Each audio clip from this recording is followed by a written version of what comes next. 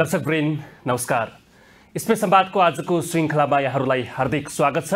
Space संवाद मुलुकको राजनैतिक आर्थिक सामाजिक सांस्कृतिक पाटोका विषयमा बहस र चर्चा गरिने कार्यक्रम हो। आज हामी पछिल्लो मुलुकको राजनैतिक घटनाक्रमका पेरिफेरीमा रहेर कुराकानी गर्दैछौँ जसका निम्ति मैले स्टुडियोमा निम्ति आएको छु। नेकपा एमालेका स्थायी कमिटी सदस्य पूर्व मन्त्री शेरबहादुर तामाङ र त्यसै गरी नेकपा एकीकृत समाजवादीका प्रमुख सचेतक एवं पूर्व मन्त्री मेटमणि चौधरी र उहाँहरूको बारेमा परिचय दिनुपर्दा हिजो कुनै बेला एउटै सङ्गठनमा नेकपा एमालेमा सँगै भएर काम गरेको र एउटै किताबमा उभिएर काम गरेको एउटा अनुभव छ। आज फरक फरक पार्टीबाट दुवैजनाले यो कार्यक्रममा प्रतिनिधित्व गर्दै हुनुहुन्छ र समसामयिक राजनैतिक घटनाक्रम र बजेटमा आधारित रहेर र पछिल्लो समय बनेको समाजवादी मोर्चा लगायतका पेरिफेरीमा कुराकानी गर्दैछौँ। दुवैजनालाई स्वागत छ नमस्कार। सुरुमा मैले शेरबहादुरजीबाट जान चाहेँ। पहिला सँगसँगै काम गर्नुभयो दुवैजनाले नेकपा एमालेमा रहँदा। एउटै कित्तामा कमिटीमा समेत काम गर्नु गरेको अनुभव छ। आज यही स्टुडियोमा फरक फरक कित्तामा उभिएर बहस गर्नु पूर्वको के अनुभूति त्यस्तो मनमा के त्यस्तो लागेको छ? मुख्य कुरो त अब हामी नेपालको एउटा राजनीतिक दृष्टिकोण खास गरी लेफ्ट मुभमेन्टको पात्रहरू हुन्। र कहिलेकाहीँ भङ्गालहरू छुट्टिन्छन् दुईवटा अलग भएर। इक्वल रेसियोमा छुट्टिन नि सक्छ अलि अलि कम रेसियोमा छुट्टिन पनि सक्छ। अलि तल गएपछि फेरि मिसिन्छन्। त्यस्तो धेरै अनुभव नेपालको वामपन्थी आन्दोलनले अनुभव गर्दै आएको छ। त्यसैले अहिले छुट्टिएको बेलामा छौँ। होइन? अब दुईवटा अलग धार जस्तो देखिएको छ। हेर्ने दृष्टिकोणहरूमा पार्टी नै फरक छ। धेरै फरक पद्धति। विधि, सिद्धान्त अलिक फरक नै। छैन। म सिद्धान्तमा फरक छ भन्ने लाग्दैन। होइन। अब विधि पनि उयो हो। हामीले डेभलप गरेको जुन विधि छ त्यो विधिभित्रै छौँ। तर कतिपय कुराहरूमा हेर्ने दृष्टिकोणमा अलिकति आफ्ना शैलीहरू फरक भएको कारणले कहिलेकाहीँ फरक पनि हुनु पर्दो रहेछ। र फेरि उहाँ र मेरो विषय पनि होइन यो। होइन? हाम्रो विषय त हामी सँगै काम गरिरहेको जस्तै छौँ नि अहिले। के फरक छ र। भेट पनि अलि लामो समयपछि हो कि भइरहन्छ नि किनभने यो मुलुकको धेरै अब तपाईँको चाहिँ राजनीतिक साथीभाइहरूसँग भेटघाट हुने आइहाल्यो चल्ने त्यो त चलि नै रहन्छ। त्यसैले अब यसलाई धेरै हामीले एकदम फरक भइहाल्यौँ भनेर एकदम ततरमम गरिहाल्नु पर्ने ठाउँ तपाईँको स्थितिमा हेर्दाखेरि तपाईँ जुन आज पोजिसनमा हुनुहुन्छ पार्टीमा र उहाँ चाहिँ मेटमणिजी जुन पोजिसनमा हुनुहुन्छ तपाईँले एक्लै अर्कालाई समीक्षा गर्ने बेला पनि हो एक्लै अर्कालाई चिन्ने पनि हो। एक्लै अर्कालाई चिन्दाखेरि जस्तो मेटमणिजीलाई यहाँले कसरी गर्नुहुन्छ एउटा जुझारु होइन एउटा समुदायको म पनि एउटा विशेष समुदायबाट बिलङ गर्छु होइन? हामीलाई खास गरी पोलिटिक्समा आउन र टिक्न साँच्चै कठिन नै कुरा हो। तर यस्तो बिचमा पनि उहाँ चाहिँ आफूले आफूलाई त्यहाँ तिखारेर निखारेर जसरी टिकिराख्नु भएको छ यही कुरा ठुलो कुरा हो। त्यसैले उहाँ चाहिँ त्यहाँबाट नेतृत्व गरेर एउटा चाहिँ केही गर्छु समाजको लागि देशको लागि भनेर र आँटका साथ बढिराख्नु भएको छ। यही कुरा हो नि। तपाईँको चाहिँ यद्यपि पनि तपाईँको चाहिँ कतिपय स्ट्रगलहरू अझै बाँकी होला। हामीले गर्नुपर्ने मुलुकको लागि गर्नुपर्ने। ठ्याक्कै यही प्रश्न सुरुमा मेटमणिजीलाई पनि। तपाईँले हिजो एउटै सङ्गठनमा बसेर काम गर्दा मलाई लाग्छ दाइभाइकै सम्बन्ध भएर तपाईँ अगाडि बढ्नु भएको एउटा पार्टी नेकपा एमालेभित्र आज परिस्थितिले उहाँले भने जस्तो भङ्गालो कहिले काहीँ फरक फरक किताबमा पनि जान्छन् चिरेर फोडेर कसरी हुन्छ? कस्तो अनुभूति भएको छ? मलाई त्यस्तो केही लागेको छैन। अब हामी कम्युनिस्ट आन्दोलनमा लागिसकेपछि लाग्नुभन्दा अगाडि नै नेपालको कम्युनिस्ट आन्दोलन थुप्रै घटकहरूसँग एकीकरण गर्दै कहिले विभाजन हुँदै हामी प्रवेश गर्नुभन्दा अगाडि त्यो ठाउँमा पुगिसकेका थियौँ र हामी प्रवेश पछाडि पनि अब सडचालिस सालमा नेकपा एमाले भन्यौँ। त्योभन्दा अगाडि माले मार्क्सवादी थुप्रै घटकहरू थियो होइन? अझ सडचालिस पछाडि हामी अब फेरि पनि कुनै बेला नेकपा बन्यौँ होइन? फेरि आज यो ठाउँमा आइपुगेका छौँ। त्यसैले राजनीति गर्नेहरूको लागि यो जीवनमा घटिराख्ने चिज हो। आइराख्ने परिस्थिति हो। यसको हामी सामान्य रूपमै म आफूले पनि लिएको छु। उहाँलाई कसरी चिन्नुहुन्छ तपाईँले? ए, म मान्ने शेरबहादुर तामाङजीलाई म मेरो दाजुको रूपमा मान्छु। हिजो पनि मान्थेँ र भोलि पनि मान्छु। आज हामी नेकपा एमाले र एकीकृत समाजवादी भएकोमा उहाँसँग खासै म साइकोलोजिकली फिलिङै गर्न सक्दैनँ फरक फरक कित्तमा छौँ भन्ने कुरा तर अलिकति तपाईँ चाहिँ बढी एमालेप्रति नेतृत्वप्रति खरै रूपमा चाहिँ उत्रिनुहुन्छ होइन? बेला बखत संसदमा होस् सदनमा होस् सडकमा होस् तपाईँको उपस्थिति चाहिँ अलिक कडा रहन्छ विशेष रहन्छ। तर मेरो व्यक्ति व्यक्तिमा त्यस्तो केही पनि हुँदैन। अब परिस्थिति आज हामीले यो ठाउँमा आइपुगेपछि कुनै व्यक्तिको हात अथवा नेतृत्वको जिम्मेवारी भूमिका रहेको हुन्छ। अब त्यो भूमिकाको कारणले अब कहिले कहीँ आवेशमा आइन्छ नि त। सम्भवतः उहाँले यो नगरेको भए आफूले ठिक ठाउँमा राखेको भए। अब नेपालको कम्युनिस्ट आन्दोलन आज यो ठाउँमा आइपुग्ने नै थिएन। अब नेकपा एमाले भन्ने बित्तिकै सबै हिसाबले धेरै राम्रो पार्टी हो। धेरै राम्रो। यसको जुन नेटवर्क छ। र एमाले मिस गरिरहनु भएको छ आज एमालेलाई? होइन। होइन? यही बसेर? होइन एक्चुअल कुरामा गइरहेको छु। यसको नेटवर्क र नेकपा एमालेका जुन तल्लो लेभलका कार्यकर्ताहरूको मनोविज्ञान छ यो धेरै राम्रो छ। अरू राजनीतिक दलहरूभन्दा म त अब यो बिचमा काङ्ग्रेसका साथीहरूसँग पनि अब मौका पाइयो होइन। अब माओवादीका साथीहरूसँग त लामो समय तर जुन मनोविज्ञान पोलिटिक्स मनोविज्ञान साइकोलोजी हुनुपर्थ्यो त्यो नेकपा एमालेको कार्यकर्तामा धेरै छ। आज हामीले त्यो ब्लड तपाईँमा पनि सवार भइरहेछ अहिले पनि? म- त्यो क्यारेक्टर त छ नि त। त्यो क्यारेक्टर छ र र आज हामीले त्यो मेहनत गरेर बनाएको पार्टी त डाइनमा त म साँच्चै भन्छु मैले नै बनाएको जस्तो लाग्छ नेकपा एमाले म इन्चार्ज भएर आइसकेपछि म निर्वाचन क्षेत्रको अध्यक्ष भएर आइसकेपछि मात्रै पार्टी बनेको थियो बनेको हो। पार्टी कार्यकर्ताहरू असल हुनुहुन्छ। म त्यो तरिकाले सम्झिन्छु तर अब त्यो यो परिस्थिति ल्याउने कुरामा अरू कसैको दोष छैन। एकजना व्यक्तिको हात छ त्यसैले कसको हात छ? उहाँको कारणले अब थाहै छ नि त अध्यक्ष। प्रचण्डजीको कारणले केपी ओलीजीको कारणले होइन? केपीकै कारणले हो नि त। त्यही हो। खास उहाँमा ब्लड सवार एमालेकै छ। मैले- एमाले नै राम्रो छ। पार्टी। पङ्क्तिदेखि लिएर नेटवर्क एकदम राम्रो छ भन्ने त यसको कारकहरू उहाँले हेर्ने र मैले हेर्नेमा अलिक फरक पर्न सक्छ।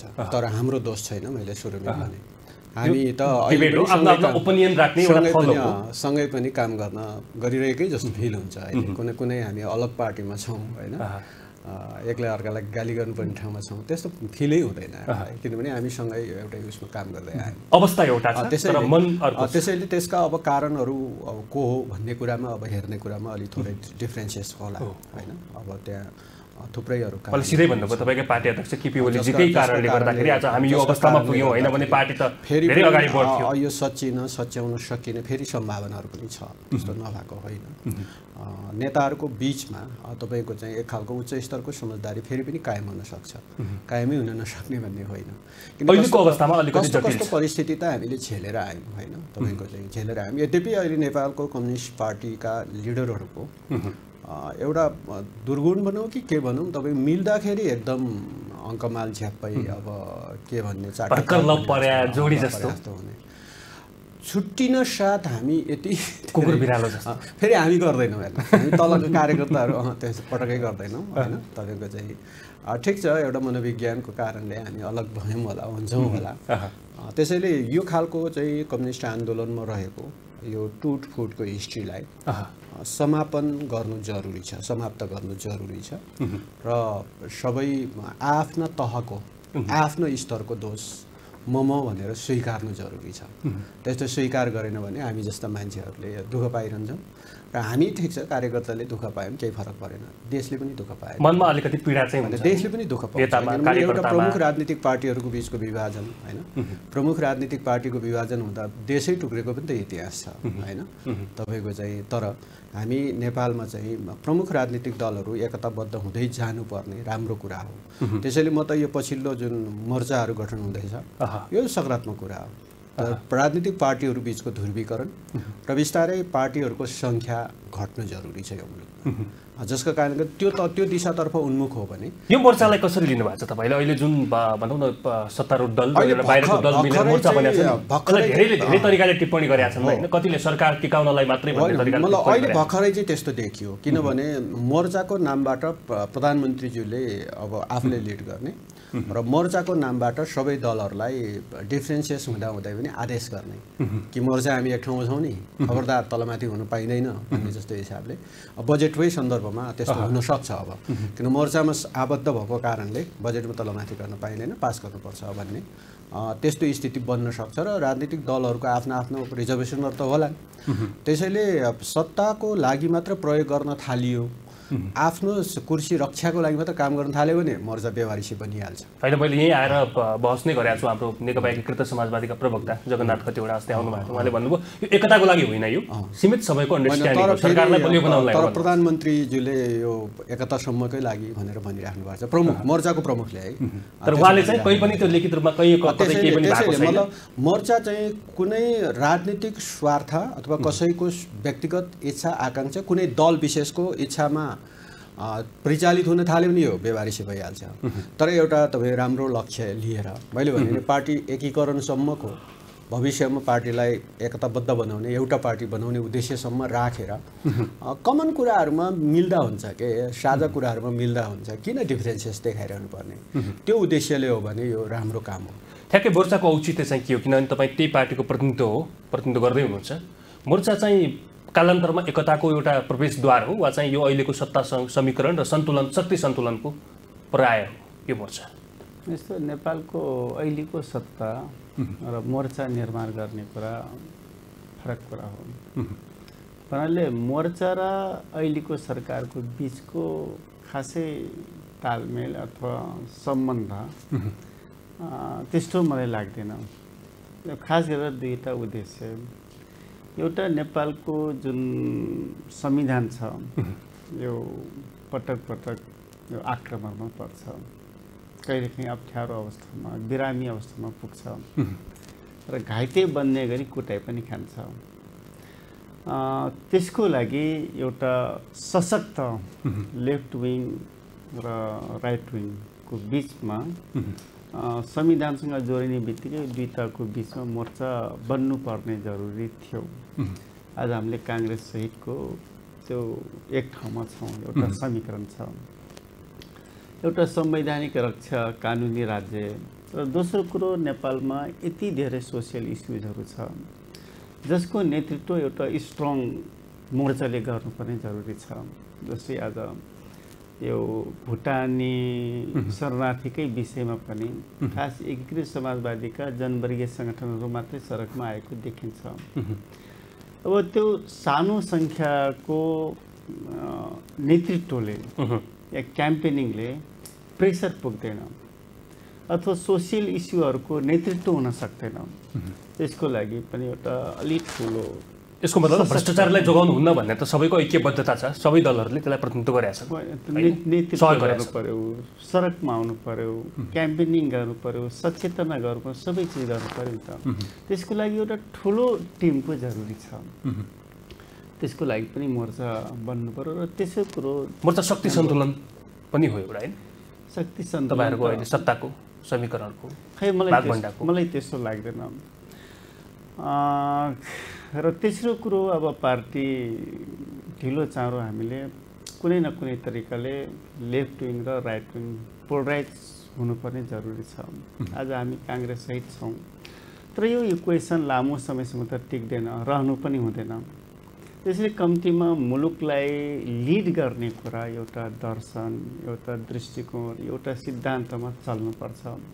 र आज हामीले त्यो कामको सुरुवात गरेका छौँ। कम्तीमा लेफ्ट विङका राजनीतिक दलहरूको बिचमा एउटा मोर्चा बनाउँदै भोलि दुईवटा पोलभन्दा पनि एउटा सशक्त मोर्चा बन्ने कुरा एउटा आइडियोलोजी एउटा होइन दृष्टिकोणमा आधारित। पार्टी निर्माण गर्ने लक्ष्य सहितको यो मोर्चा हो। मान्छेले तपाईँका पार्टीका प्रवक्ताले भन्नुभएको छ त्यो कुनै पनि सहमति भएको छैन केही पनि छैन एक हुने भन्ने छैन यो। केही समयको अन्डरस्ट्यान्डिङ मात्रै हो भन्नुभएको छ मान्छेले डिप्लोमेसीको नाममा अथवा अरू नाममा ठ्याक्कै भन्दा नेपाली कङ्ग्रेसलाई काउन्टर दिनका निम्ति हामीहरू एक एक धारमा छौँ है त्यसले दायाँ गर्न मिल्दैन भन्ने खालको चाहिँ हो भन्छन्। खै काङ्ग्रेस र हाम्रो बिचमा त अब यसै पनि सम्बन्ध छ काउन्टर किन गर्नु पर्यो? एमाले र कङ्ग्रेसको भेटघाट बाक्लिया छ अहिले पछिल्लो समय तल्लो तहका नेताहरूको छलफल। यसो छ राजनीतिक दलका नेताहरूको बिचमा पार्टीहरूको बिचमा भेटघाट हुने संवाद हुने छलफल हुने अझ एकता हुने कुरो त धेरै राम्रो कुरा हो नि त। के सधैँ विभाजन भइराख्ने झगडा गरिराख्ने लडाइँ गरिराख्ने कुरा असल मान्नुहुन्छ त। कङ्ग्रेस एमालेको तल्लो तहका नेताहरू बिचको छलफल बहस गोप्य भेटवार्ताहरू अहिले बाक्लिएको छ होइन? होइन यो छलफल प्रक्रिया त उहाँले भन्नुभयो जस्तै यो निरन्तर चलिरहने विषय हो नि। तर कुन उद्देश्यको के को लागि भन्ने कुरा हो? बाहिर प्रचारमा आए जस्तो। कङ्ग्रेसका महामन्त्रीले भन्नुभएको छ त्यो असम असम्भव भन्ने केही छैन नेपाली त्यो राजनीतिमा। ठिकै हो त त्यो त तपाईँको चाहिँ सम्भव कुरा त हामी एउटा सोचिरहेको हुन्छ उही दिन आवर पनि त टुङ्ग्याएको छ नि त नेताहरूले होइन? जस्तो तपाईँको चाहिँ दस गते हुँदै हो त। दुई महिना पछाडिको एउटा अर्कै एक डेढ घन्टाको बिचमै पनि त्यो समीकरण चेन्ज भएको पनि छ। होइन? लामो समय म त्यस्तो असम्भवै त देख्दै देख्दिनँ। सम्भव त छ।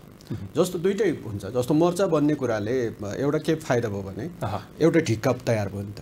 एउटा ढिक्का तयार भयो। त्यो ढिक्का तयार गर्नलाई त्यो चौन्नको ढिक्का तयार गर्न अरू थुप्रै जोड्नु पर्थ्यो होला नि त। थुप्रै सानसानो ढिक्काहरू जोड्नु पर्थ्यो होला। होइन? त्यसो भएको कारणले तपाईँको चाहिँ अब त सजिलो के भयो भने अब मोर्चा एक ठाउँमै दृढतापूर्वक नै उभिन्छ भने है अब मोर्चा प्लस काङ्ग्रेस होइन? काङ्ग्रेस प्लस एमाले एमाले प्लस मोर्चा। मोर्चा। यस्तो पनि त हुनसक्छ त्यस्तो हुन सक्दैन। त्यसको कारणले अब यो असम्भव त होइन। यो त सम्भव छ। त्यसैले त्यो मोर्चा बनेर जुन ढिक्का तयार भएको छ यो त झन् राम्रो पनि किनभने यो फेरि मोर्चा अस्तित्वको प्लस लागि एमाले वा एमाले प्लस काङ्ग्रेस। सम्भावना छ नि त। मोर्चा प्लस काङ्ग्रेस त छँदैछ अहिले होइन? त्यसो भने त्यो सम्भावनै नभएको विषय त होइन। तर यो के को लागि भन्ने मुख्य कुरा हो? जम्मा जम्मी सङ्ख्या पुर्याउने लाग्नु भएको छ होइन काम गर्न अब नयाँ विकल्प चाहिँ रोज्नुपर्छ भन्ने त हो नि तपाईँहरूको काम कुरामा अब अरू के हामीले भनिरहनै पर्दैन। जस्तो यो आर्थिक वर्ष जुन चलिरहेको छ अब असार अब लास्ट हुँदैछ। यो आर्थिक 42% वर्षमा मात्रै पुँजीगत खर्च हामीले कुनै। कुनै उप- उपलब्धि हासिल गर्न सकेका छैनौँ कुनै नयाँ योजनाहरू दिन सकेका छैनौँ। अहिले जुन पास हुँदैछ जुन बजेट अब त्यो बजेटमा पनि तपाईँ सत्तारूढ दलकै अब मान्यज्यूहरू दलहरू आफै विभाजित छ। होइन त्यसो भएको कारणले बजेट कस्तो आयो त त्यसो भए सामान्य रूपमा हेर्दा पनि तपाईँको चाहिँ साढे सत्र खरबको बजेट प्रस्तुत गर्दै गर्दा करिब पाँच खरब एराउन्ड त फेरि पनि ऋणको बजेट प्रस्ताव भएको छ। अब बाह्र चान्चुन जति बाह्र खरब चान्चुन चाहिँ रेभिन्यू उठाउँछु भन्छ। तर अहिले चालु वर्षको चाहिँ तपाईँको नौ पुर्याउनु पनि गाह्रो छ होइन? अनि कुन चाहिँ बजेटले कुन चाहिँ उसले काम हुन्छ त घोषणै गर्दा पनि कुनै राष्ट्रिय गौरवका अलि ठुला योजनाहरू जसले तपाईँको मुलुकको चाहिँ होइन आर्थिक समृद्धिमा टेवा पुग्न सकोस्। जस्तो भनौँ न म त अहिले पनि दाबी गर्छु हामी सँगै हुँदाखेरि सुरु भयो होला मध्य पहाडी पुष्पलाल लोकमार्ग। आज त्यो बाटो बनिसक्दाखेरि धेरै कुरामा त्यसले चाहिँ प्लस गर्छ। मदन भण्डारी लोकमार्ग जुन चाहिँ तपाईँको चाहिँ अहिले बनिरहेको छ धेरै ठाउँमा सम्पन्न पनि भएको छ। त्यो भन्दाखेरि सुनकोसीको पानी मरिनमा डाइभर्ट गरेर तपाईँको तराईमा चाहिँ सिँचाइ गर्दै गर्दा धेरै चेन्ज आउँछ। होइन विद्युत आयोजनाहरू अहिले धमाधम बनिरहेको छ। होइन अब त्यो आयोजना बन्यो नेपालले मात्र खपत गर्न सक्दै सक्दैन। त्यसो भएको कारणले त्यसलाई बेच्ने नै हो। त्यसो कारणले नेपाल र भारत बिचमा चाहिँ ऊर्जा किन्ने र बेच्ने सम्बन्धी सन्धि गर्दै गर्दा होइन त्यसैले यो चिजहरूले त काहीँ न काहीँ सकारात्मक असर दिन्छ। तर विगत तपाईँको चाहिँ अदालतको आदेशपछिदेखिको जुन सरकार गठन भयो त्यसपछि कुन राष्ट्रिय गौरवको योजना सुरु भयो कुन सम्पन्न भयो। अनि कुन चिजहरूबाट चाहिँ मुलुकले वाह भन्ने ठाउँ पुग्छौँ? आज जनता सबै आक्रोशित छन् सबै निराशा छन् कुण्ठा छ। तपाईँको चाहिँ एयरपोर्टमा हामी गयौँ भने नेपाली प्लेन फेरि तपाईँको चाहिँ थन्केर बस्छ। तर विदेशी प्लेनले चाहिँ मान्छे चाहिँ हजारौँको सङ्ख्या ओहोरदोहोर गर्छ बोक्छ होइन? हाम्रो चाहिँ हजारौँ मान्छेहरू दैनिक अब खाडीमै काम गर्न गइरहेका छन्। ल यस्तो खालको परिस्थितिमा नयाँ ढङ्गले सोच्नुपर्ने आवश्यकता हो। दलहरूको बिचमा बसेर एउटा राष्ट्रिय सहमति केही कायम गर्नुपर्ने आवश्यकता हो। तर अहिलेको यत्तिकै परिस्थितिमा मात्रै हामी अगाडि बढ्यौँ भने काहीँ न काहीँ मुलुक क्रास हुने बाहेक अर्को विकल्प चाहिँ देखिँदैन। मुलुक त अलिकति गाह्रो स्थितिमा गयो नि होइन भेटमोटीजी जस्तो अहिलेको सरकारले चाहिँ डेलिभरी राम्रो दिन सकेन सुशासन कायम गर्न सकेन समृद्धि कायम गर्न सकेन योजनाहरू नयाँ नयाँ ठुल्ठुला योजनाहरू आयोजनाहरू चाहिँ निर्माण गर्न सकेन भन्ने कुरा स्वीकार हुन्छ? ठिक हो। दाजुले भनेको कुरा यो ठिक छ। तर परिस्थिति कस्तो छ भने हामीले कुनै बेला एउटा परिस्थितिमा थियौँ। तर आज हामीले आज यो अवस्थामा आइपुगेका छौँ। भनेपछि पोलराइज लेफ्ट र राइटको बिचमा पोलराइज हुने बेला अब नेपालको राजनीति कस्तो छ भने जित्नको लागि मिल्न सक्ने सबैसँग मिल्ने। त्यो देखियो। र त्यो कल्चर हो। भन्नाले जुन वेबमा अथवा जुन दिशामा मुलुक अगाडि बढिरहेको थियो त्योबाट डाइभर्ट भएको छ। फेरि हामी एउटा गोल चक्करमा फँसेका छौँ। छ्यालिस सालभन्दा अगाडि अथवा छ्यालिस वरिपरिको अवस्थामा आइपुगेका छौँ? अब यो गोल चक्करको राजनीतिले मुलुकलाई लिड गर्नै सक्दैन। यो हामी सफासँग जनता सबैले बुझ्नुपर्छ। मिल्ने छन् काले काले मिल्ने भाले खाने भन्ने यस्तै यस्तै। खालि हाम्रो राजनीति भनेको जित्नको लागि। अरू केही होइन। जित्नको लागि स्वार्थका लागि। जित्नको लागि राजनीति गर्ने। व्यक्तिगत इन्ट्रेस्टका लागि। आफ्नो पार्टीलाई को पार्टीको साइजलाई डाउन नगर्नको लागि राजनीति गर्ने। चाहे नेकपा एमाले होस् चाहे काङ्ग्रेस होस् चाहे हामी हौँ भन्नाले मुलुकको राजनीतिको लागि अथवा विकासको लागि यो बेठिक कुरा हो। पात्रहरूको व्यथिति पात्रहरू खराब हुँदा प्रवृत्ति खराब हुँदाखेरिको परिणति हो। आज तपाईँहरूले पनि बेहोर्नु भनिरहेछौँ नि। तपाईँ सरकारमा भए पनि सन्तुष्ट हुनुहुन्न। सन्तुष्टि त कोही छैन। कोही दुनियाँको दुई तिन करोड पपुलेसन छ सेटिस्फाई त कोही छैन। आज तपाईँले राष्ट्रपतिलाई सोध्नुहोस्। उहाँले डिसेटिस्फाईका कुरा गर्नुहुन्छ प्रधानमन्त्रीलाई।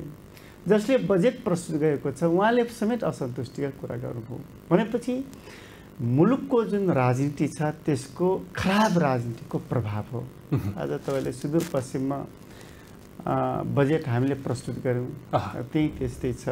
कर्णालीमा अर्कोले बजेट प्रस्तुत गर्यो त्यस्तै छ। यहाँ एउटाले गर्यो। तर यो बजेटमाथि सत्ता पक्षका सांसदहरू यति आक्रोशित भएको र यति चाहिँ के अरे निर्णय नै गरेर म पारित गर्न दिन्न भनेको चाहिँ पहिलोपटक होला होइन? होइन यो सधैँ श्रृङ्खला। योभन्दा अगाडि अलिक बढी छ क्या पेचिलो छ आज। तपाईँहरूलाई त चुनौती पनि छ निर्णय पार्टीले नै निर्णय गरेका छौँ हामी पारित हुनै दिन्न भनेको छ यो छैन म आफै प्रमुख सचेतक यहाँ छु बोल्दैछु त। योभन्दा अगाडि पनि रघुवीर महासेठ। अ, भौतिक मन्त्री हुनुहुन्थ्यो। उहाँले गर्नु के भयो भने खालि धनुषा र जनकपुर मात्रै बजेट राख्नुभयो।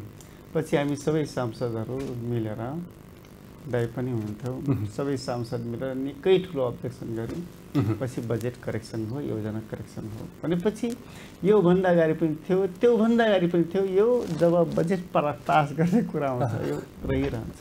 पार्टीले नै निर्णय चाहिँ गरेका थिएन होला पहिला। हजुर। पारितै गर्दैनौँ। हामी चाहिँ भनेर पार्टीको बैठक। बसेर। त्यस विरुद्ध झन् यति ठुलो झगडा भएको थियो। पुरै त्यहाँबाट अब रघुवीर महासेठ मान्नेको रङ त कालै छ नि त। सांसदहरू तल बसेर त यसो भनेर सम्मको हाम्रो कौर अगाडि रोमा बसेको बेला रघुवीरलाई अब रोस्टममा उभ्याएर मुनिबाट सांसदहरूको प्रतिक्रिया त्यस्तो थियो नि त। तिम्रो बजेट कुनै हालतमा पास हुन्न भनेर। यसको मतलब अहिलेको तपाईँहरूको अब्जेक्सनका बिच पनि शर्तहरूले बजेट पारित गर्नुहुन्छ होइन तपाईँ? सर त भनेको अब करेक्सन नगरिकन त बजेट हुन्न होइन। कुनै न कुनै तरिकाले अङ्क र योजनामा करेक्सन करेक्सन गर्ने आश्वासन वा चाहिँ अहिले नै लिखित रूपमै करेक्सन कुनै पनि जसरी हामीले हिजो गरेका थियौँ त्यही तरिकाले। आज पनि हुन्छ हाम्रो बजेट पारित चाहिँ गर्नुहुन्छ होइन? बजेट त पारित त हुन्छ। अब आज आउँदाखेरि अलिकति थोरै हामी भ्रष्टाचारको एजेन्डामा अडिक भएर अगाडि बढिरहेछौँ नक्कली भुटानी शरणार्थी हुँदै ललिता निवास प्रकरणसम्मका फाइलहरू अहिले खोलिए। हिजो मात्रै सातजना पक्राउ परे तर अदालतको यस अगाडिको स्टे अर्डरकै कारण तिनजना चाहिँ त्यतिखेर रिहा गरिए अहिले चारजना चाहिँ प्रहरीको हिरासतमा छन्। सरकारले लिएको एक्सन र यो कदम तपाईँहरूका लागि पनि राम्रो छ होइन? सराहनीय छ। यो त एकदमै ठिक कुरा हो। कुनै पनि यो लोकतन्त्रमा चाहिँ तपाईँको चाहिँ जवाबदेहिता नि चाहिन्छ पारदर्शिता नि चाहिन्छ। त्यसरी अपारदर्शी ढङ्गले जे काम भएको छ त्यो चिजको छानबिन त हुनैपर्छ र हामी पनि चाहन्नौँ कि कुनै पनि शीर्षकहरूलाई। होइन अब प्रश्न बनाएर एकदम तेर्साइराख्ने। अनि त्यो प्रश्नको भारी चाहिँ हाम्रो टाउको माथि बोकिरहनु पर्छ होइन। लोकतन्त्रले बोक्न मिल्दैन त्यो। त्यसो भएको कारणले जति पनि विषयहरूमा प्रश्नहरू उठ्छन् त्यसको निरूपण जरुरी छ। र निरूपणको लागि भएका प्रयासहरू ठिक छन् र त्यसको निरूपण हुनैपर्छ किनभने के कुरा किन- तपाईँको चाहिँ त त्यो त्यो त कारवाही भोग्न मिल्दैन गर्नु हुँदैन भनेर हामीले कहाँ आधिकारिक काहीँ बोलेको पनि छैनौँ भनेको पनि छैनौँ कारवाही गर्नुपर्छ। र यो कस्तो चिज हो भने त्यही त मैले भने कुनै पनि विषय उठिसके पछाडि त्यो विषयको बैठान जरुरी छ। लोकतन्त्र भनेकै त्यही हो लोकतन्त्रको ब्युटी नै त्यही हो। त्यसैले अब अब ठिक छ कुनै शासन व्यवस्था अब निरङ्कुश ढङ्गको थियो भने उसले शासन आफ्ना हातमा लिएको ल्याइ गरेर त्यस्ता विषयहरू दबाएको दबाई गर्ला। तर यो त तपाईँको चाहिँ हामीले जुन व्यवस्था लिएर आयौँ होइन यो व्यवस्थाभित्र कोही पनि मान्छे होइन भ्रष्टाचारी हुनु हुँदैन। सबै इमानमा बस्नुपर्छ। र इमानपूर्वक मुलुकलाई हाँक्ने हो। र यदि राजनीतिमा लाग्ने हो भने इमान्दारिता नै मुख्य कुरा हो। इमान नैतिकता भ्रष्टाचार त व्यापक भयो नि अनि यस्तो हो जस्तो तपाईँ यो त केही केही दुई चारवटा शीर्षक चाहिँ हामीले अब अहिले एकदम चर्चामा छौँ हामी होइन? यो यो यो भनेर केही दुई चारवटा शीर्षक। कि यति समाधान हुनसाथ मुलुक त्यसो भए भ्रष्टाचार मुक्त भयो त? यो त होइन। त्यसो भएको कारणले हो यस्ता उठेका विषयहरूलाई समाधान गर्दै जाउँ। र यसमा निर्मम ढङ्गले तपाईँले चाहिँ अब कानुनद्वारा हामीले कारवाही गर्नुपर्ने के गर्नुपर्ने गरौँ। र अरूलाई अनि सबक हुन्छ कि फलानु फलानुलाई पनि छोडिएन। फलानु अरू पनि पर्यो। अब थियो भने अथवा भ्रष्टाचार कतै गऱ्यो भने हामी पनि यस्ता हुन सक्छौँ। मान्छेलाई त्यो त्यो डर देखाउनको लागि पनि त हो नि। त्यस कारणले पनि यो सबै जति पनि शीर्षकहरू अब आइरहेको छ यो छिटो निरूपण हुनु जरुरी छ। र जो अब तपाईँको चाहिँ दोषी देखिन्छ दोषी कारवाहीमा गइहाल्छ अदालतले त्यो प्रक्रियामा लगिहाल्छ। त्यसैले तपाईँ यो अदालती प्रोसेसमै हामी का कानुनी राज्य हो भएको हुनाले तपाईँको चाहिँ संविधान कानुनको चाहिँ तपाईँको चाहिँ राज्य हामी संवि संवैधानिक सर्वोच्चता मान्ने भएको नेकपा एमाले सपोर्ट गर्नु त्यो। प्रष्ट भन्ने पार्टीको मान्छे किन्न मुछियोस् कारवाहीको दायरामा नाम गरेको। कारणले एमालेको छाता उडाएको कारणले कोही मान्छे भ्रष्टाचारी भएर बस्न मिल्छ त। मिल्दै मिल्दैन नि। त्यो त जोसुकै होस् न जुनसुकै तहको भए पनि। हामी चाहिँ यो प्रक्रियामा अगाडि बढ्नु पर्ने नै हुन्छ। यो बढ्छ प्रचण्ड सरकारले चाहिँ भ्रष्टाचारका फाइलहरू जुन फाइललाई क्लोज गरिरहेको छ ती फाइलहरू क्रमशः खुल्दै आएका छन्। यसको अन्तर्यभित्र केही छ त्यस्तो? अब नेपालमा अहिले हामीले भ्रष्टाचारको लास्ट स्टेजमा छौँ। भ्रष्टाचार नगरिकन नेता पनि भइन्न र अरू समाजमा मान्ने कुरा पनि हुँदैन। त्यो खालको मनोविज्ञान छ। तर नेतादेखि लिएर सामान्य लेमेन अथवा सामान्य पिपल्सहरू पनि त्यो खालको मनोविज्ञान छ थियो। म आज संयोगले दुवैजना चाहिँ बेदागी नेताहरूसँगै कुरा गर्ने गरिरहेको छु यो भ्रष्टाचारको कुरा गर्दा जस्तो लाग्छ मलाई। त्यो खालको अवस्था थियो। अब जनता पनि अब मलाई आफूलाई अब दाइले त के भन्छ आई डोन्ट तिमी मन्त्री भयो पैसा त अथा होला भनेर। मेरो म्याडम सामान्य जागिर गर्छन्। तपाईँलाई त अस्तिको निर्वाचनमा त करोडौँ खर्च गर्यो भन्ने पनि आयो नि बाहिर खरोड त करोड बहालवाला मन्त्रीले त धेरै खर्च गर्यो निर्वाचनमा। अब यो बोल्न मिल्ने हो होइन थाहा छैन। तर करोड खर्च नगरेको कोही मान्छे नै छैन। यो हो। खर्च भएकै हो होइन खर्च किन नहुनु पच्चिस करोड पैँतिस करोडसम्म मान्छेले खर्च गरेको रेकर्ड आइरहेको तपाईँको ठ्याक्कै कति भयो मेरो त कति हुनु भए पो खर्च हुन्छ तपाईँलाई त चुनौती चुनौती पनि थियो होइन खर्च गर्नको। लागि त पैसा पनि त हुनु पऱ्यो नि त तर कम्तीमा अब यस्तो चरम सीमामा हामी छौँ एकदम लास्ट स्टेजमा त्यो स्टेजबाट अब अहिलेको परिस्थितिको कारणले अवस्थाको कारणले कारबाहीको कारणले अहिले अब डाउन डाउन भ्रष्टाचार गर्नुहुन्न बदमासी गर्नुहुन्न। गलत आचरण राख्नुहुन्न भन्ने ठाउँमा चाहिँ हामी पुगेका छौँ है। यो पोजिटिभ वेबाट हेर्नुपर्छ त्यसैले अब चाहिँ यदि यसलाई हामीले स्ट्रङली लागू गर्न सक्यौँ कारवाही गर्न सक्यौँ भने यसको ग्राफ चाहिँ अब मुनि मुनि झर्छ यो ठिकै छ। सरकारले साँच्चै एक्सन लिन्छ होइन? अब यो भ्रष्टाचार विरुद्धको अभियानमा प्रचण्ड सरकार अगाडि बढिसक्यो हो वा चाहिँ यसमा पनि केही नकारात्मक भनौँ न विङ्सहरूले खेलिरह्यो यो भित्र पनि। कसैलाई साइज राख्ने कसैलाई चाहिँ बोल्न नदिने चुप्लाउने खालका पनि त हुनसक्छ नि रणनीति राजनीतिमा जे पनि हुन्छ। त्यो अनेक हुन्छ। यो एक ठाउँ हिर्काएर हुन्छ अर्कोलाई तर्साएर हुन्छ होइन? तर्साउनको लागि साइलेन्ट राख्नको लागि अरू एक्सन लिएर हुन्छ यो त अनेक अनेक फन्डा हुन्छ नै। तर अहिलेको अवस्था जस्तै गृहमन्त्रीको जुन म कुरा सुन्छु प्रस्तुति हेर्छु अब निर्दोषपूर्ण तरिकाले अगाडि बढे जस्तो मलाई लाग्छ।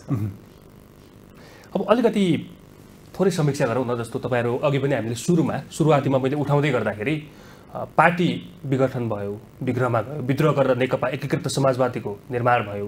तपाईँहरूले अहिले समाजवादी मोर्चा गठन गरेर माओवादी लगायतका भनौँ न कम्युनिस्ट दलहरू वामपन्थी दलहरू दलहरू एक डेक्का हुनुपर्छ भन्दै गर्दाखेरि नेकपा एमाले र नेकपा एकीकृत समाजवादीको त झन् छिटो मन मिल्छ होला नि होइन? यो दुई दलहरू बिचको सामिप्यता निकटता प्रगाढता त झन् छिटो हुन्छ होला नि। के भन्छ मनले हाम्रो क्यारेक्टर एउटै जस्तो मलाई लाग्छ। जुन हाम्रो चरित्र छ भ्रष्टाचारको बारेमा समाजको बारेमा। जुन तरिकाले हामीले सोचिरहेछौँ हामी एकै तरिकाबाट सोचिरहेको छौँ जस्तो मलाई लाग्छ है। र पार्टी एक ठाउँमा आउनुपर्छ भन्ने कुरा धेरै धेरै चाहे नेकपा एमालेका भन्नु चाहे एकीकृत समाजवादीका मान्छेहरूको कुरा गरौँ। कतिपयले त एकीकृत समाजवादीका केही मान्छेहरू एमाले ढोका खोल्न साथ फुत्त भित्र छिर्छन् भन्छ नै भन् त्यो अनेक त्यस्तो त्यो त अनुमानका कुरा केही। नेताहरू यो आउने जाने बाटो कुरेर पर्खेर बसिरहेका छन् नै आउने जाने त चलिरहेको छ नि त। आउने जाने हो बेटबडी छ। चौधरीको सवालमा चाहिँ यो लागु हुन्छ कि हुँदैन आज म त एउटा पार्टी अब आफैले पनि धेरै मेहनत गरेर होइन। अब पार्टी निर्माण गरेको कुरा हो नि त र दोस्रो कुरा फेरि म कसैको रिसले आवेगमा आएर यो पार्टी निर्माण गरेको होइन यसमा लागेको होइन। मेरो आफ्नो केही दृष्टिकोणहरू छ। त्यो दृष्टिकोणको आधारमा पार्टी निर्माण गरेको। त्यसैले फेरि एउटा पार्टीमा प्रवेश गर्ने अर्को पार्टीमा जाने अर्को पार्टी बनाउने। यसको बाधक चाहिँ को? तपाईँ आज खुलाइदिनुहोस् न त्यसो भए। एक हुन नदिने मन मिल्न नदिने यस्तो एउटै कमिटीमा बसेका सामिप्यता भएका व्यक्तिहरूलाई चाहिँ एक हुन नदिने चाहिँ बाधक को? न, यस्तो छ एकजना मात्रै बाधक त हुँदैन। जुन नेताहरूको चेतना छ धेरै कमजोर चेतना। आफू चाहिँ देशको प्रधानमन्त्री भइसकेका छन् पार्टीको अध्यक्ष भइसकेका छन् सारा भइसकेका छन् होइन। तर उहाँहरूको सोच्ने जुन शैली छ कला छ चेत भन्छु म चेतना धेरै ग्रास रुट लेभलको धेरै कमजोर चेतना छ। प्रधानमन्त्री भइसकेका छ भ्रष्टाचारका कुरा गर्छ बदमासीका कुरा गर्छ एउटा कार्यकर्ता या नेतालाई हिर्काउने कुरा गर्छ बदला लिने कुरा गर्छ भनेपछि यो खालको चेतनाले मुलुकको नेतृत्व पनि हुँदै हुँदैन पार्टीको नेतृत्व पनि हुँदैन सिङ्गो कम्युनिस्ट आन्दोलन एक ठाउँमा पनि आउँदैन। एउटा तह पार गरेको नेताको मनोवृत्ति चाहिँ अहिले सुहाउँदो भएन। भने पोस्ट चाहिँ ठुलो भयो तर चेतना चाहिँ धेरै कमजोर भयो। यसैले अब मिल्नै सकेन मिल्नै दिन्नन् होइन? अहिले पनि मञ्चमा नेताहरू उभिए भने के गर्छन्? देश निर्माण गर्ने कुरा पार्टी निर्माण गर्ने कुरा कम्युनिस्ट आन्दोलन सशक्त बनाउने कुरा परिवर्तन गर्ने कोही गर्दैनन्। कुरा के गर्छ? एउटाले एउटा मञ्चबाट एउटा कुरा गर्छ खालि गाली गर्छ खालि हिर्काउँछ। एउटाले भयभरको सबै राजनीतिक दललाई गाली गर्छ। अब अर्कोले अर्को एउटालाई गाली गर्छ। अनि पार्टी कसरी एक ठाउँमा आउँछ। हेर्नुहोस् त शिवराजजी तपाईँले सुनिरहनु भएको छ नि होइन? एउटै कमिटीमा काम गर्ने उहाँले त सम्बोधनले पनि दाई भन्नु हुँदो रहेछ यहाँलाई। आत्मीयता त त्यस दाई भन्ने शब्दमै आत्मीयता धेरै छ। यो बाटो खुला किन गर्दैन नेकपा एमाले यो मन किन सग्लिँदैनन् नेताहरूका नेतृत्वका? यस्तो हो जस्तो तपाईँको चाहिँ मैले अघि नै भने हामी बिचमा रहेको एउटा प्रवृत्ति। मिल्दाखेरि अब एकदमै के के नभयौँ जस्तो। नमिल्दा एकदम सत्तो सराप गाली गर्ने र अहिले ठिकै भएको छ। अह। अहिले चाहिँ के भएको छ भने हामी पहिला राजनीतिक दलका नेताहरू एकअर्कालाई गाली गर्थ्यौँ। अब जनता सबै मिलेर सबैलाई गाली गर्न थालेका छन्। अब सबक चेत खान्छन् होला। होइन? तपाईँको चाहिँ किन त्यो सिकाउँदा हामीले सिकायौँ होला जनतालाई पनि होइन? अब गाली गर्नु पर्दो रहेछ। औँला ठड्याउनु पर्दो रहेछ भन्ने। हुन त अब एमाले नेतृत्वलाई तपाईँ पनि त्यो तपाईँले नै भनेर चाहिँ त्यो लागु भइहाल्ने ठाउँमा हुनुहुन्छ हुनुहुन्न त्यो हामीलाई थाहा छैन। तर एक हुनुपर्छ मिल्नुपर्छ भन्ने ब्रिफिङ चाहिँ हुँदैन है पार्टीमा। व्यक्ति एकदमै ठुलो व्यक्तिले धेरै ठुलो प्रभाव पार्छ भन्ने कुरा त म भन्दिनँ। तर पनि अब राजनीतिक दलहरूभित्र अब त्यो दलले लिने नीति दृष्टिकोण प्रमुख कुरा हो। र त्यो दृष्टिकोणकै आधारमा हामी एक ठाउँमा हुने कि नहुने भन्ने कुरा नै त्यसको निर्धारण हुन्छ। त्यसले अब दृष्टिकोणहरू अलग अलग भयो सोच्ने शैलीहरू अलग हो भने त अलगै हुन्छ। र फेरि पनि यो दुनियाँमा सबै मान्छेहरू हुन त मान्छेले त्यही प्रवृत्तिको कारणले मान्छे भन्ने प्राणीले अब प्रगति पनि गरे। असन्तुष्टि प्र प्रवृत्ति होइन। कुनै चिज प्राप्त भयो त्यसपछि अर्को थप प्राप्तिको लागि हिजो तपाईँलाई पनि माधव नेपाल एकदम निकटस्थ पात्रका रूपमा चिन्थे। होइन हामी नेकपा एमालेका कार्यकर्ताहरू थियौँ। नेकपा एमालेका कार्यकर्ता हौँ। नेकपा एमाले भएरै हामी अगाडि बढ्यौँ। त्यसरी एमालेकै पक्षमा उभिँदाखेरि हामीले चाहिँ पाँचौँ राष्ट्रिय महाधिवेशनदेखि जनताको बहुदल जनवाद दृष्टिकोण अङ्गीकार गऱ्यौँ र त्यसले भन्छ राजनीतिक दलहरूभित्र आफ्नो दलभित्र पनि लोकतान्त्रिकरणको एउटा सिद्धान्तलाई हामीले एक्सेप्ट गरेका हौँ त्यसो हुँदा प्रतिस्पर्धा हुन्छ। बहस छेड्ने बेला त भयो नि अब होइन। प्रतिस्पर्धा हुन्छ। प्रतिस्पर्धामा कसैलाई रोज्न पाइन्छ। त्यो रोज्नै नपाइने भन्ने होइन रोज्न पाइन्छ। तर प्रतिस्पर्धामा रोजेर तपाईँको चाहिँ जो जित्नुहुन्छ। जितेकोले हार्ने पक्षलाई समेट्ने हार्ने पक्षले जित्ने पक्षलाई समर्थन गरेर अगाडि बढ्ने। यही हो विधि। लोकतान्त्रिक अभ्यास। अभ्यासै यही हो र यो यो अभ्यासमा हामी टिक्न सकेनौँ। हामी खरो उत्रिन सकेनौँ। हामीले जब जसलाई लागू गर्ने सन्दर्भमा हामी त्यसमा खरो उत्रिन सकेनौँ। हामी खास गरी नौ राष्ट्रिय महाधिवेशन यता। हुन त त्योभन्दा अगाडि तपाईँले चाहिँ छैटौँ राष्ट्रिय महाधिवेशनमा पनि हामी विभाजनमा पुग्यौँ होइन? त्यसपछि नौमा पनि आए पछाडि हामीले हार्ने र जित्ने बिचको चाहिँ तपाईँको चाहिँ त्यो जुन एक खालको हार्मोनी त्यो कायम गर्न सकेनौँ। जसका कारणले गर्दा यो चाहिँ झाँगिँदै झाँगिँदै गएर अन्ततोगत हामी चाहिँ विभाजन गर्ने तहसम्म। तपाईँको मनभित्र पनि एउटा कुरा खेलिरहेको छ हामी चाहिँ एक ठाउँमा उभिनुपर्छ र एक ठाउँमा उभिए मात्रै शक्ति पृथकीकरण र शक्ति सन्तुलन हुन्छ। अब लेफ्टहरूको। बिचको ध्रुवीकरण जरुरी छ। र अरू तपाईँको चाहिँ अरू पार्टीहरूको माओवादीसँगको तालमेल सँगसँगै। अब सँगसँगै सम्भव होइन हामीले। एकचोटि अनुभव गऱ्यौँ एकचोटि अनुभव पनि गऱ्यौँ त्यो सफल हुन सकेन। त्यसका पाठहरू सिकेर के हो भन्ने पाठहरू चाहिँ सिक्नु त पर्ने नै भइहाल्यो। यसको मतलब एउटा उमेर हद पार गरिसकेकाहरूलाई चाहिँ सही रूपमा विश्राम आवश्यक हो होइन आज? नेतृत्व गर्ने। कुरामा लिड गर्ने क्षमतै छैन कामै गर्न सकेन भने त्यो समयले स्वत भनिहाल्छ। त तपाईँले सक्नुहुन्न भनेर कार्यकर्ताले पनि स्वत भनिहाल्छ। तर तपाईँको चाहिँ क्षमता छ नेतृत्व गरिरहेछ भने फेरि कार्यकर्ताले पनि तपाईँ नै हो भन्छ नि त फेरि। त्यो- त्यो त्यस्तो स्थिति बन्छ। त्यसैले उमेरको कारणले धेरै फरक त परिहाल्दैन। तर उमेरको कारणले केही साथीहरू अब मैले सकिनँ भन्ने अथवा परिस्थिति पनि उहाँको क्षमताले अब भ्याइरहेको छैन। नेपालका काम कम्युनिस्ट एक धारमा उभिन नसक्नु र एक हुन नसक्नुमा चाहिँ कसैको मनोवृत्तिले प्रवृत्तिले पनि खेलेको छ होइन? यो। प्रष्टै हो। हामी बिचमा चाहिँ कम्युनिस्ट पार्टी चाहिँ मैले जहिले पनि भन्ने गरेको छु राम्रो बिउ रोप्न सक्छ फलाउन सक्छ राम्रो। चुलोमा मिठो पकाउन सक्छ बास्न पनि आउँछ।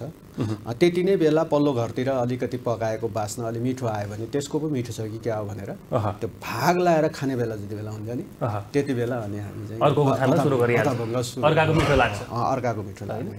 यो प्रवृत्ति रहेसम्म नेपालमा कम्युनिस्ट पार्टी एकता पनि हुँदैन। होइन? हामी एक ठाउँ पनि बस्न सक्छौँ अब यो विद्रोह गर्नुको एउटा औचित्य छ नि आज। तपाईँले पार्टी नै निर्माण गरेर एउटा फरक ढङ्गले अगाडि बढिसकेको छ नेकपा एकीकृत समाजवादी। विद्रोह गर्न आवश्यक थियो त। हिजो चाहिँ नेकपा एमाले भित्र बसेका मान्छेहरू विद्रोह गरेर बसेका मान्छेहरू डाक्टर भीमराव लगायतका कतिपय नामहरू आउँछन्। उनीहरूको अवस्था त एमाले एक किसिमको पहिचान त दिएको छ नि। त्यहाँ पनि त बस्न सकेर पनि गर्न सकिन्थ्यो। आफ्नो एउटा भनौँ न उहाँले भने जस्तो अर्को घरमा बास आइसके पछाडिको एउटा परिस्थिति हो कि यो?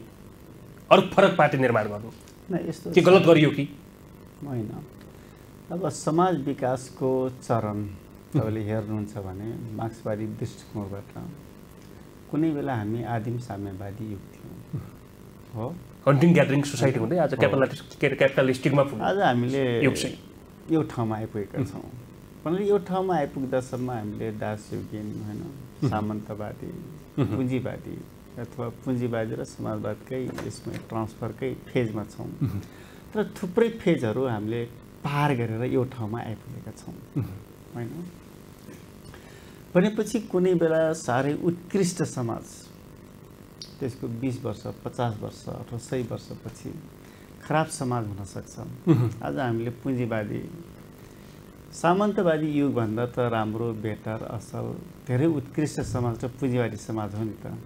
सामन्तवादी। अथवा दास युगभन्दा त राम्रो असल समाज त त्यो त्यो त्यो। पुँजीवाद हो भने सामन्तवादी युग हो नि त। अझ हामीले जुन समाजको कल्पना गरिरहेका छौँ समाज समाजवाद। वैज्ञानिक समाजवाद भन्छौँ भन्ने कुरा होइन कि यही समाज सबैभन्दा उत्कृष्ट समाज हुन्छ त? आज अबको हजार वर्षपछि त्यो त हुँदैन। अब अर्को समाजको खोजीमा मान्छे लागिसक्छ। भनेपछि नेकपा एमाले कुनै बेला धेरै असल थियो। धेरै धेरै असल थियो। मैले फेरि पनि भने नेकपा एमालेका जुन कार्यकर्ताले जुन तरिकाले सोच्छन् त्यो अरू राजनीतिक दलका कार्यकर्ताले त्यो तरिकाले सोच्नै सक्दैन। तर के भइदियो भने त्यो पार्टीबाट समाजमा रहेका सबै खालका समस्यालाई कम्युनिस्ट आइडियोलोजीको वेबाट सम्बोधन हुन नसक्ने ठाउँमा हामी पुग्यौँ। जस्तै जति भ्रष्टाचारका कुराहरू आउने सबै कुनै न कुनै नेकपा एमालेका नेताहरू जोडिनु पर्ने। जति जति जति काण्डहरू जति फाइलहरू आउने। पर यो तरिकाले त समाजको पोजिटिभ एटिच्युड या धारणा त बन्न सक्दैन। जबसम्म समाज राजनीतिक दलप्रति कुनै पार्टीप्रति पोजिटिभ अथवा फुल कन्फिडेन्स हुन सक्दैन त्यस बेलासम्म पार्टी स्ट्रङ हुन सक्दैन बलियो हुन सक्दैन।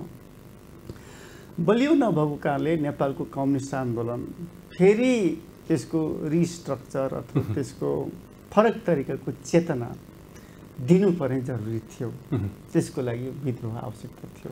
तर एउटा कुनै पनि पार्टीमा नेतृत्व पछाडिको तल्लो सर्कल जुन त्यो एउटा त्यो घेरा हुन्छ त्यो घेराले पनि सही डिसिजन लिन नसक्ने एकअर्काका मनहरू नमिल्ने नेतृत्वमै जो मान्छे छ त्यही नै के अरे शक्तिको पुजारी बन्ने प्रवृत्तिले पनि यो अवस्था सिर्जना भयो नि कतिपय रूपमा त आफू व्यक्ति पनि त दोषी छ नि त्यसमा। यसो जस्तै दाजु र मेरो के दोष छ यो पार्टी निर्माण गर्ने कुरामा? दोष त हाम्रो होइन। तपाईँहरूको युनिटी त छैन। होइन। अर्कोलाई। अर्कोले अर्कोलाई अगाडिको जुन पानी हुन्छ नि त उसले त्यो खोल्दै जान्छ नि त्यसको पछि पछि परिस्थितिले बाध्यताले इन्टिमेसीले लिगेसीले हामी जोडिँदै आइ आएका छौँ त्यो हो नि त। त्यसरी के हो भने अब फेरि पनि नेपालको कम्युनिस्ट आन्दोलन मात्र होइन। नेपालको प्रजातान्त्रिक आन्दोलन या पुँजीवादी आन्दोलनले जुन हाम्रो सोच्ने शैली छ नि चेतना छ योभन्दा योभन्दा। माथि त उठ्नै पर्छ। पनि म म त गाली गर्न छोडिसकेको छु होइन? जस्तै मञ्चमा उभिएर लामो भाषण गर्ने दुई घन्टा बोल्ने तिन घन्टा बोल्ने दुई तिन घन्टा बोल उठ- उठेर बोल्दा सबै दललाई सत्तो सराप मात्रै गर्ने। त्यो एकपल्ट तपाईँले पनि सिक्नुभयो भर्खर भर्खर जो तात्ता त थियो नि दाजु जति बेला विद्रोहको तात्ता त एउटा आगो बलिरहेको थियो नि। त्यो। पर्नु मतलब पचास वर्षमा आफूले करेक्सन गरिसकेँ नि। त्यो चेतना मैले प्राप्त गरिसकेको छ गेन गरिसकेको छ। तर सत्तरी प्लस भएका मान्छेहरू आज त्यही गरिरहेछन् त। त्यसले यो धेरै खराब योबाट हामीले सिक्नुपर्छ ब्याग राख्नुपर्छ मुलुक बनाउने नेता केन्द्रीय नेता हुने। अनि अरूले गाली गरेर हामी त मुलुक बनाउने कुरा कमिटमेन्ट गर्ने कुरा दृष्टिकोण बनाउने कुरा पो गर्ने हो त? तिन घन्टा बोल्ने अनि तिन घन्टाको तिन घन्टामै अरूले गाली गरेर सक्ने कुरा हुन्छ त। तर यो एउटा व्यक्तिको मात्रै हो भने सबैको हकमा अन्तमा। जुन जेनेरेसन छ। अन्तमा छौँ हामी। अन्तमा म तपाईँबाटै जान्छु। एउटा हाम्रो सेगमेन्ट छ। तिनजना पात्रका नाम भन्छु। तपाईँले उहाँलाई कसरी ब्रिफिङ गर्नुहुन्छ कसरी चिन्नुहुन्छ? तपाईँले चाहिँ आफ्नो ओपिनियन प्रष्ट रूपमा राख्न सक्नुहुन्छ। केपी शर्मा ओली माधव नेपाल र प्रचण्ड। केपी शर्मा ओलीलाई कसरी चिन्नुहुन्छ केपी ओली साना साना कुरामा एकदम यी बदला लिने जुन भावना छ म त्यो रूपमा लिन्छु र एउटा कमिटमेन्ट भएको नेता तर साह्रै मुनि गएर बदला लिने भावना छ। माधव कुमार नेपाल? माधव कुमार नेपाल एउटा असल नेताको रूपमा मैले लिएको छु। प्रचण्ड? प्रचण्ड एकदम लिक्विड टाइपको लिक्विड टाइपको उनले लाग्यो भने गर्ने। ठ्याक्कै त्यही प्रश्न तपाईँलाई केपी शर्मा ओली अ, त्यही आँट भएको नेता हो र मुलुकले खोजेको केही गर्छु भन्ने दृष्टिकोण भएको र अध्ययन राम्रो भएको नेता हो।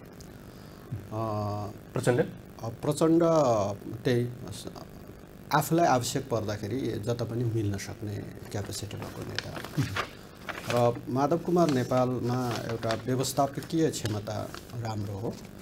पछिल्लो कालमा अलिक व्यक्तिवादिता हावी भएको देख्छु मैले उहाँमा त्यो त्यो पन चाहिँ हटाउनुपर्छ यसरी हेर्दा नेताहरू एकैचोटि रातारात बन्दैनन् नेता बन्ने नेतृत्व बन्ने धेरै लामो प्रोसेस हो। त्यसमाले यिनैहरूको हातमा अब देश छ अहिले। घुमिफिरी यिनीहरूको बिचमै छन्। त्यसैले उहाँहरूमा रहेका केही कमी कमजोरीहरू हटाएर अगाडि बढ्न सक्यो भने मुलुकले अलिकति केही न केही चेन्ज महसुस गर्छ होला। हस् यहाँहरू दुवैजनालाई धेरै धेरै धन्यवाद। दर्शकवृन्द कार्यक्रम स्पेस संवादको आजको श्रृङ्खलामा मुलुकको पछिल्लो समसामयिक राजनैतिक घटनाक्रम नेपालका वामपन्थी दल कम्युनिस्टको एकता यसको आधार औचित्य लगायतका पेरिफेरीमा कुराकानी गऱ्यौँ। आजका लागि स्पेस संवादको समय सकिएको छ। नमस्कार।